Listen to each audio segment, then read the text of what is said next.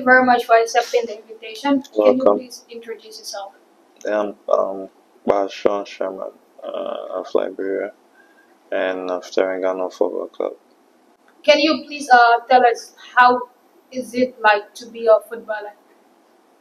Well, it's uh, it's difficult, but it has its highs and lows, uh, advantages and disadvantages.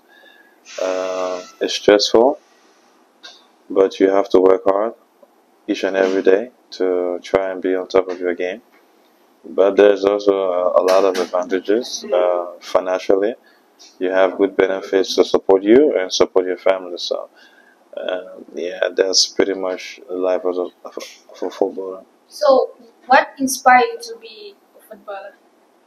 Well, I saw the talent from young uh, when I was playing a county meet in Liberia back in 2007, and uh, I felt that I, I could I could go for my dream, and by God's grace, uh, I'm not where I, I wanted to be, but I'm happy where I am, and I thank God for the opportunity He's given me to be a blessing to a lot of people.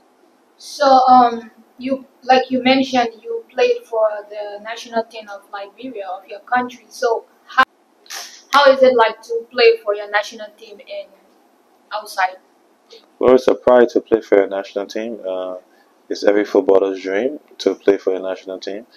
And every time I go to play, I just want to give my 100% because the national team is a lot of pressure.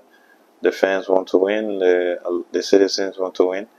So it's an added pressure, but uh, once you cope with it, I think you can go and play your, your utmost best.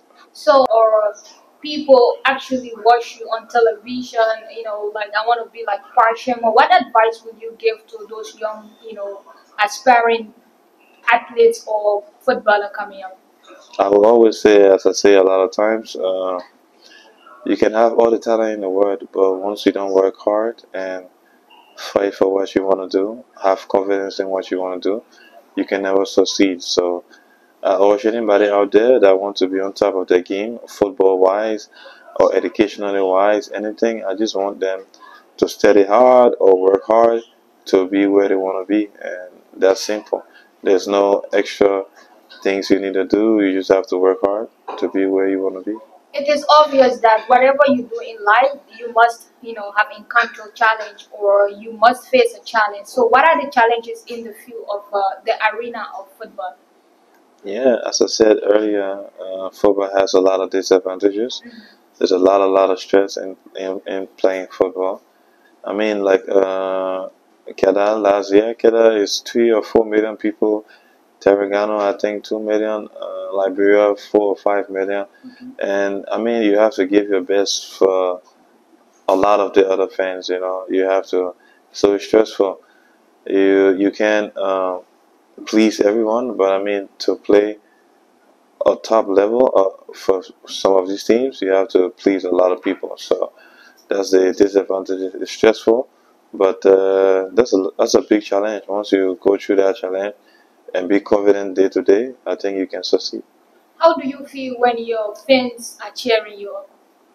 It's good. It's a proud, you know. Like, it's a good thing. Uh, know within your heart you made a lot of people happy. You score a goal and you see the stadium, everyone's happy. Eh, after the game, everyone's posting, reposting. So there's that kind of nice feeling, and I just wish I could do it a lot of times. So, what's your concluding statement for this interview? Well, thanks for having me, and keep on uh, the good interview. And to everyone out there that's working for the goal, work hard, as I said. Uh, study hard, work hard, train hard, whatever it takes to get where you want to be. Don't be complacent and go for your goal. Thank you. Thank you very much. That's how we come to the end of the exclusive interview with Kpah Sherman of the Liberia national team and also playing for Tregan. Thank you. See you next time. Bye bye. Thank you.